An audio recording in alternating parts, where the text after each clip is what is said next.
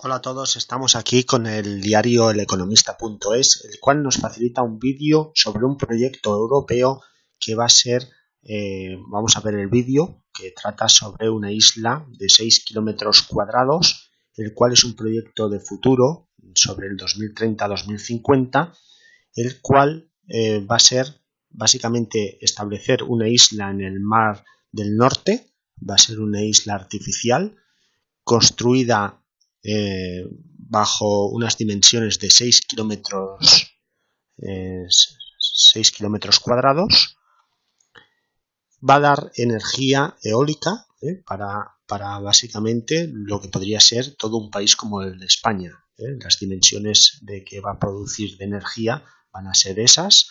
Aquí vemos desde lo alto las dimensiones de esa isla con todo lo que va a tener. Va a tener también un puerto marítimo va a tener todo rodeado de vientos, de, molinos de viento, y va a ser una construcción que se piensa que se va a terminar sobre el 2030 al 2050, más o menos van a ser esas cifras, y también, sobre todo, eh, la Comisión Europea quiere firmar el, el acuerdo con esa empresa que va a construir.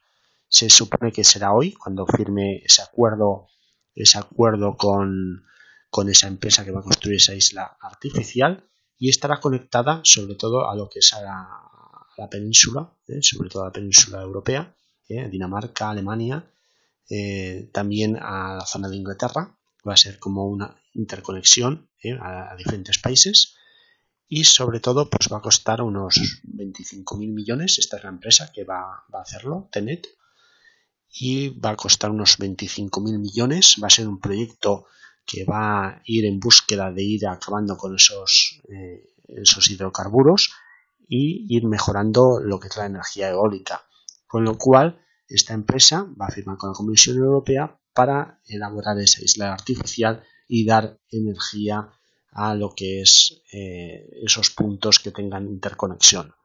Con ello, eh, suscribiros al canal, compartir el vídeo si os ha gustado el vídeo y hasta aquí nada más. Hasta luego.